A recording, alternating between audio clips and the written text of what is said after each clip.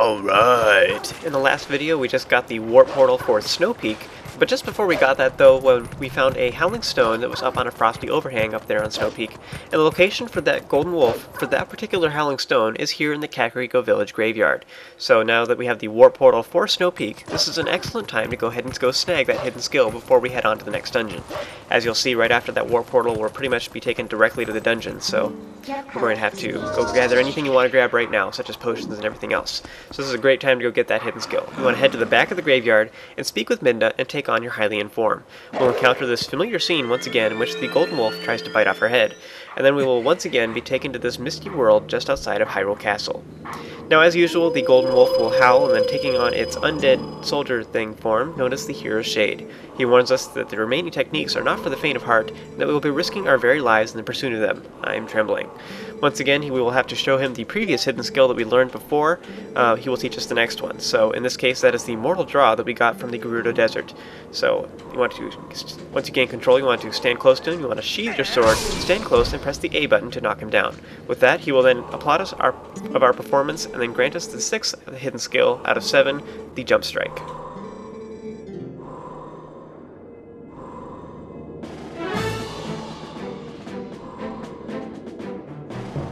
The Hero's Shade will explain that the jump attack is an effective sword technique against a single target, but it's awkward when used against multiple foes and will leave you quite vulnerable. So it's great for one-on-one -on -one combat, but once you start having more than one enemy, it starts getting a little bit awkward. So he now goes on to show you how to charge it up by holding down the A button and then releasing it to unleash a powerful shockwave that will damage all surrounding enemies. This is great against weaker enemies in particular, it will kill them all in a single hit. So you'll then get a chance to try it out on the Hero's Shade, who will separate into several mirror images of himself. As soon as you gain control, you want to Z-target one, press and hold the A button, and then release it to jump forward and strike your opponent. The shockwave will blast all the other mirror images as well. This is an effective skill that does a great deal of damage, and it will kill several enemies at once. So some of the harder enemies it will take more than one hit, but a lot of the weaker ones, and even some of the medium strength ones, will actually kill them in a single hit. This is really awesome. It's a useful technique, especially for some of the upcoming dungeons, and also for the Cave of Ordeals. This is really nice to have there. Just try and remember it. I actually have a tendency to forget to use it a lot, um, but it is a pretty cool technique. And we have just one more hidden skill to go, so we'll be getting that here relatively soon in a few chapters. Uh, so you should have six hidden skills so far. The Hero Shade will then rambles on a bit about courage and Link getting close to fighting the big baddies at the end of the game. Once he's done talking, he'll say farewell and will appear back in the graveyard in Kakariko Village. With that out of the way, you want to go ahead and warp back over to Snow Peak, where we will continue heading towards the next dungeon.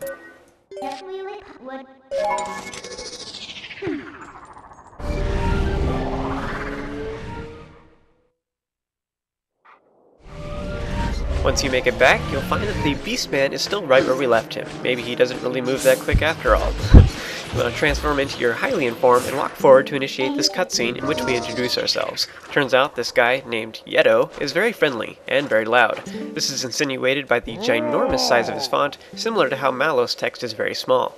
He can only say a few words for every little text box as a result, so I suppose it's a good thing that Nintendo decided to give him broken English then, huh? he'll ask you what you're doing all the way up here and insists you must be on a spiritual journey. Either way you answer, he'll simply laugh at you and inform you it was just a joke. Yetis do joke after all after which he'll then force you to tell him his life, your life story. So the screen then blank, blacks out, apparently because Link is speaking. Wouldn't want to show that, now would we? Yeto is very impressed that a human, or Hylian technically, would make such a lengthy journey to travel all the way up here, and he's willing to help you out too. He reveals that he has indeed seen a piece of the Mirror of Twilight, and that he even brought it to his house. He even invites you to come all the way down and share a meal with him. Well, this doesn't sound like it's going to be too hard to find this particular mirror shard, right? He then says to go down the mountain, you can ride all the way down just like he does. After smacking the tree with his fist, he'll jump onto the sled uh, thing, the leaf, and then he'll start sledding all the way down on a single foot. It's amazing that that thing can support all his weight, isn't it? you think it would just totally, you know, he'd fall flat on his face after it crunches underneath him. So once that cutscene is over with, you want to roll into the tree yourself to make a leaf fall down that we can use ourselves. You want to jump on down and press the A button while standing next to it to hop on. We're snowboarding! As soon as you start, you want to hold down the A button and then release it in order to jump over the gap. Once you've done that, you can use the analog stick to move back and forth in order to aim and stuff, and you can hold forward to speed up and hold backwards to slow down. There are several secret areas you can get to by jumping up onto them to reach these upper areas where there's some extra rupees. I'll point out a few of them as I go, but they're not really that important, they're just totally optional. So you can gather them if you like. Uh, a lot of them are kind of tricky, so I'm just going to show you most of them. Um, but as you go along, you'll up ahead you'll see there's a bridge, and you want to watch out for the gaps. You got to be prepared to jump over them. There's also some ice Keese here as well, but as long as you don't crash or sit still for too long, uh, you should be able to totally ignore them and go right past them. You can slash them with your sword as you're passing if you want, or even use a spin attack and kill a whole bunch of them at once. But then up ahead, you'll want to get a good leap off this uh, jump here in order to reach some rupees that are atop the trees. Don't be surprised if you miss though; it is kind of difficult. Up ahead, there's a ledge off to the right you can get on pretty easily if you like. This path is a little more treacherous than the one below, though. Uh, it's pretty easy to get up here, um, but if you don't want to do that and you're not really if you're not really in the mood for a challenge, feel free to skip it, it doesn't really matter. Up here, you want to simply follow the rupees and then be prepared to leap onto the next platforms. Try to stay pretty straight so you avoid falling into the abyss. Now you can take this upper path if you want. It would be good to um, you know get used to taking this path so that you can use this skill for the race later on.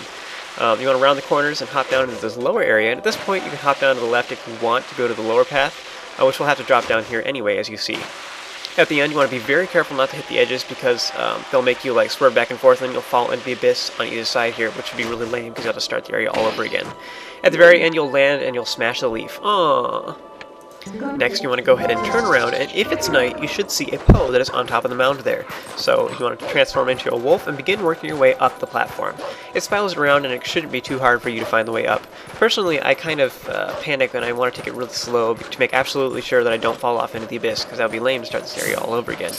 At the top, you will find a, our ghosty little friend who is all lonely. You want to give it some attention, and then gather Poe Soul number 45. So that's everything we had to do up here. You know, like I say, this one's up here only at night. It's kind of hard to tell if it's night or day uh, when you're up here on Snow Peak because it's constantly blowing wind and everything. You'd think it'd get quite a bit darker when it's night, or you'd be able to see stars or something, but no.